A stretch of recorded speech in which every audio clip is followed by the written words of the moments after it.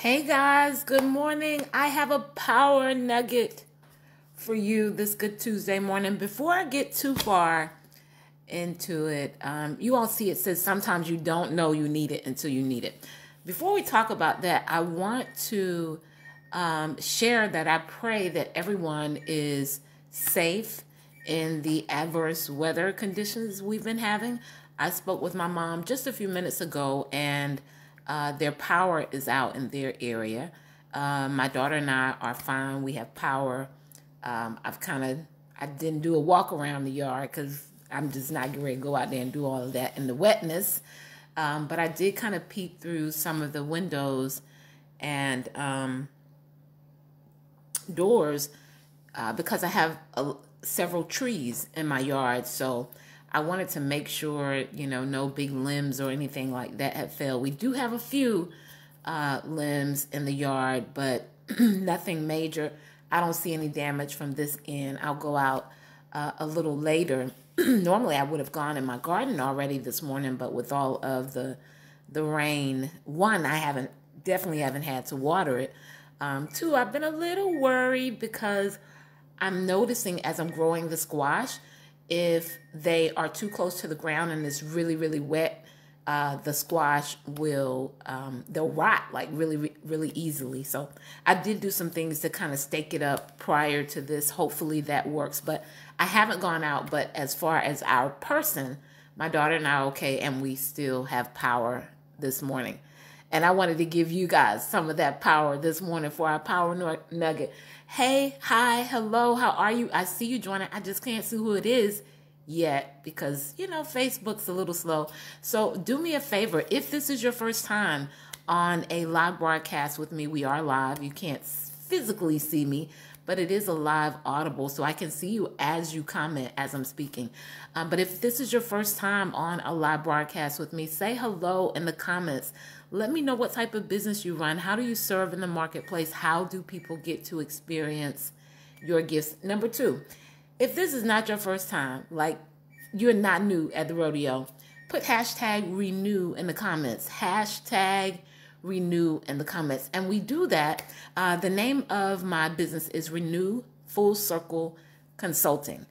And we get our whole life over here, full circle. So if this isn't your first time, put hashtag renew. And thirdly, I ask that uh, if you find value in this or any other trainings that I've shared with you before, and you think someone else would find value, please press the share button. It's on the left hand side. Something magical happens when you press it. People are able to um, experience our power nuggets that we do.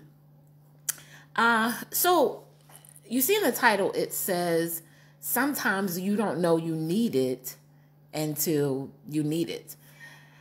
So recently, maybe about three or four days ago, um, in our current, let me say this first. In the current times that we are facing with the stay at home, the quarantine, and the pandemic, literally, um, my daughter and I have only been doing uh, grocery store runs, like literally, um, and essential things that we needed for the home. Her birthday was about a week ago now. No, maybe a week and a half ago now.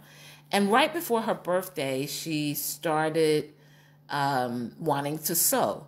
Now, I had purchased her a sewing machine when she was maybe about six or seven, one of the beginners uh, sewing machines.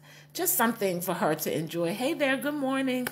And so when she comes up with the idea, look, we're all, you know, we're on this kind of quarantine, stay at home time. Many of you have probably picked up a, a craft or something like me, like with gardening that you really love. And for her, her next thing was sewing. So as we began to, uh, or she began the process, she had something she wanted to work on.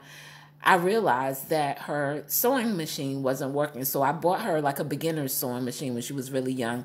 And then I had one. And I said, okay, well, you can use, you know, my sewing machine. How about neither one of the things work? So long story short, I, you know, ordered her another sewing machine. And I thought I would brave uh, the road and take her to a material factory to get some fabric.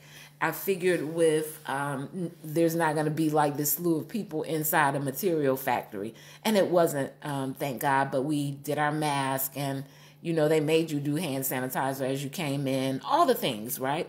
So we rode out to um, get her some material. Um, we didn't do anything like a mall, just simply because of the amount of people um, in the mall for, for us. Now, this was a first for us with all of this that is transpiring, I think, uh, what, since March. Not only have we been kind of isolating or, or doing the stay at home quarantining really, really well to the point where, you know, I think maybe some family members may be a little uncomfortable with the, the measures, you know, that we've been taking, but that's neither here nor there. Um, I also had not been eating out. So there were maybe three occasions, good morning, Jacqueline, where I allowed my daughter to get something from the drive through. And we started with like some french fries, where, you know, because the whole process for us is it doesn't make sense to quarantine if you're not going to be safe. so as they are handing us the fries, we have a, uh, sanitized Lysol wipe in our hand and, you know, all the things. So to me, it's just, it's so extreme for one.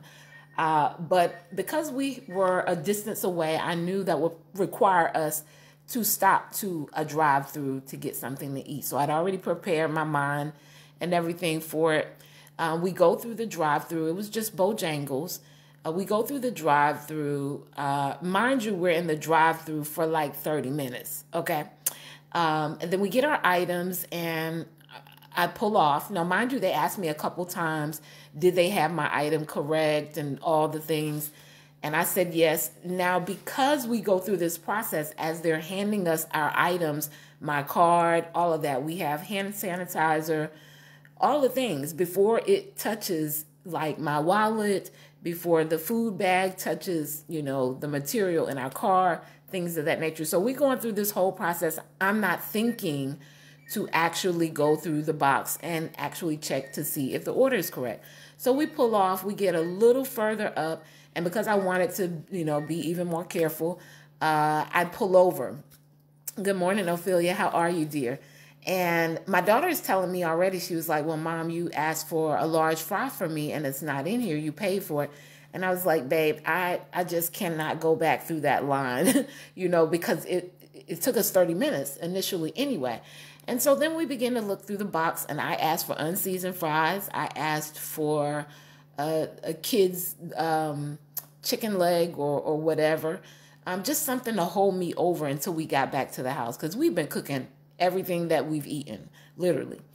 And the entire order was wrong. So I was like, okay, I'm not going back through the drive through. I'm going to park and walk over to the drive through window and just let her know my order is wrong. Maybe they can fix it, bring it to the car, whatever. So they asked me to come in. Now I'm already like really, really mindful about, um, you know, just where we're going uh, during this time and going in and all of the things. But I go in, I'm masked, I have my mask on and everything. Literally, guys, I'm in there for the, the young lady who waited on me leaves. So I realize, or I assume, that one of the reasons it was probably incorrect because she was ready to get off. I mean, you could tell. I just think the times are, you know, stressful for for most people working under the new normals that we're seeing or the new conditions that we're seeing for the time that we're in.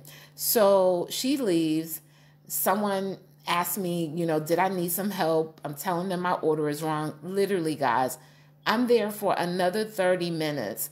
I end up going back to the car, asking them could they bring it out. I set another maybe 15 minutes and then I go back in again. Now, mind you, you guys see now I'm going somewhere when I say you never know you need it until you need it sometimes.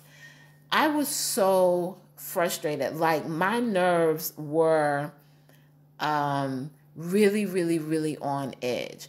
I was being understanding in my mind, but I don't think my presence or my delivery was saying that because I was frustrated with the entire process. And I kept saying to myself, you know, I don't know if you're really um, showing the level of patience that you should be showing during these circumstances.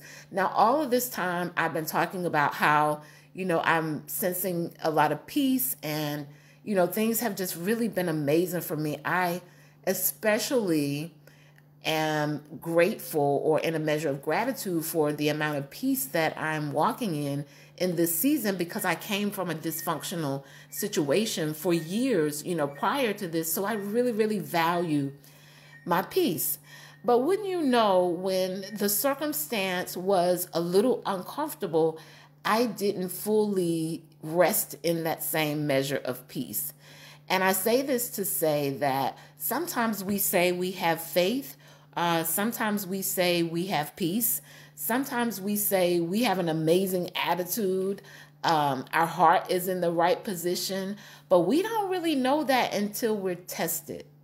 I remember asking God when I got back in the car, I said, wow, this is an area that I need to work on, you know, even more. I need to pray about. I need to be even more mindful of because when you're home, you're not around anybody, you're not faced with any um, frustrating circumstances. Yes, it's easy to say that you're operating in peace or your heart is in alignment and all the things. It's easy to say that when you are not tested it's no different from faith. You know, people will say that their faith is so strong, but when times like we're facing today comes um, and things are changing by the moment and there's so much uncertainty, where is the faith at then, right?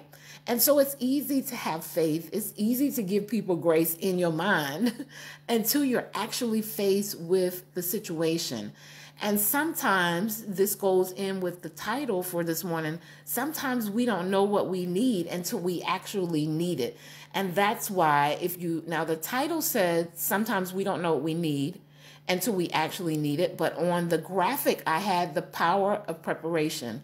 And this is why I am constantly working on myself because there will be times where you know, you're faced with an uncomfortable situation or things not necessarily going the way they normally go.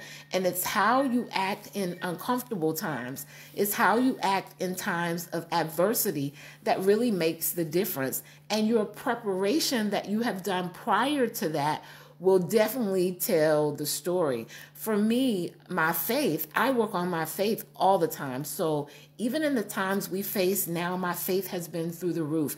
I've, um, you know, been extremely prosperous in this season. My clients have. I've been able to maintain that, but I didn't know that I needed to kind of still work on you know, my patience or my tolerance level because I haven't been around anybody. So it's easy for us to say that we got this thing together or we do really well at this particular thing when we're not faced with it being uncomfortable or actually tested. And when it comes to preparation, there's so much power in this. And this is where I see many entrepreneurs um, drop the ball right? They don't see where they will need it. So, some of the steps, some of the foundational things that are really, really needed to sustain their business, they don't do those things, right? Because in that moment, they don't feel they need it. They don't feel they need a system. They don't need it, feel it, it takes all of that.